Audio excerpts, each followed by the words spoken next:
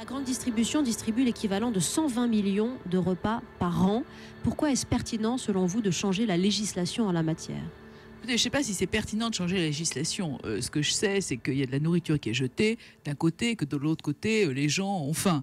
Euh, je sais que des bénévoles font le travail. Je sais que ça fait 30 ans que les restos du cœur prospèrent, ce qui est quand même plutôt c'est la seule entreprise qui prospère en France et c'est celle qui devrait précisément pas prospérer parce que euh, c'est quand même c'est quand même une, honte pour la société française euh, que de devoir avoir euh, des gens qui qui font la queue pour pouvoir manger. C'est quand même c'est quand même un, échec. Bon voilà.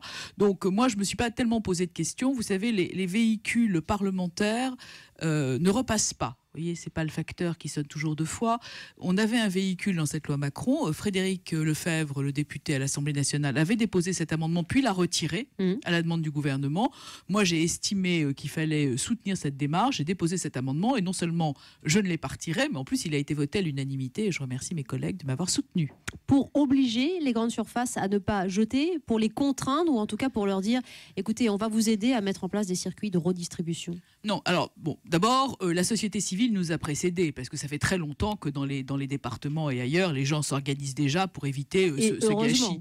Et heureusement, bon, encore une fois, la société civile a précédé le politique et c'est tant mieux. Bon, ou pas, enfin c'est comme ça et c'est très bien comme ça. Bon, donc si vous voulez, ce qu'il fallait, euh, c'est donner une impulsion parce qu'on attendait le rapport de Monsieur Garot qui, euh, qui n'arrivait pas. Mmh. on en parle beaucoup et on fait rien. Donc encore une fois, il y a un véhicule. Alors mon amendement visait à contraindre euh, les, supermarchés, les grandes surfaces. Puis, à la demande d'un certain nombre de mes collègues, j'ai modifié le doivent mettre euh, en, place des conventions par peuvent mettre en place, de façon à obtenir cette décision et à obtenir euh, finalement ce vote. Parce que je considère que c'est une impulsion qui était nécessaire. Vous considérez que sous la contrainte, on n'obtient rien et qu'il vaut mieux encourager, c'est ça? Non, je considère rien du tout. Je considère qu'il vaut mieux un amendement voté que pas d'amendement du tout, de façon à mettre l'éclairage. Parce que sans cet amendement, je suis pas sûr que vous auriez parlé du gâchis alimentaire aujourd'hui. On l'aurait fait parce que le rapport euh, est remis aujourd'hui par Guillaume Garot sur le sujet. Oui, mais facile, si le rapport Garot était arrivé dans 8 jours ou dans 10 jours, vous auriez attendu 8 jours ou 10 jours pour le, pour le rapport Garot. Il n'y a, pas de, si vous voulez, il y a, pas de concurrence, il n'y a pas de compétition avec Garot.